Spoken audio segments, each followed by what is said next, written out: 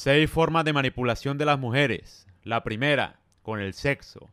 Las mujeres saben obviamente que a los hombres les cuesta un poco controlar sus hormonas. ¿Quieres tener sexo con ella? No hay problema, solo le tienes que comprar una casa, un iPhone y un apartamento para su mamá. Si está guiado por tus hormonas, por supuesto lo vas a hacer. La segunda forma, llorando. Probablemente la forma más común de manipulación es llorar. Ella está jugando a ser una víctima sensible y emocional y sabe que te sentirás mal una vez que la veas así. Pero una vez ella consigue lo que quiere, de repente tiene una sonrisa en su rostro. Tercera forma, con pretendientes. Te dice que le coquetea al jefe, tu mejor amigo, tu hermano, tu papá, porque le encanta saber que eres inseguro y harás lo que sea para no perderla.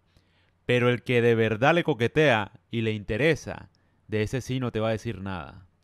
Cuarta forma, con las fotos. Cuando discutes con ella, entonces empieza a subir fotos en una fiesta o en la playa mostrando su cuerpo para hacerte sentir mal y que salgas corriendo a pedirle perdón antes de que ella consiga otro hombre. La quinta forma de manipulación, con amenazas.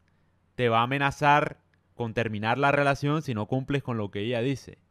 Esto solo lo hace si ella sabe que eres débil. La sexta y última forma de manipulación, con el cuerpo. ¿Has visto cómo todas las mujeres en TikTok bailan semidesnudas y ofrecen OnlyFans? Saben que eres débil, que no tienes sexo con nadie, y por eso eres el seguidor inútil que siempre les dará dinero y atención a cambio de nada de valor. El escote es suficiente para que algunos hombres hagan lo que quieran sus mujeres.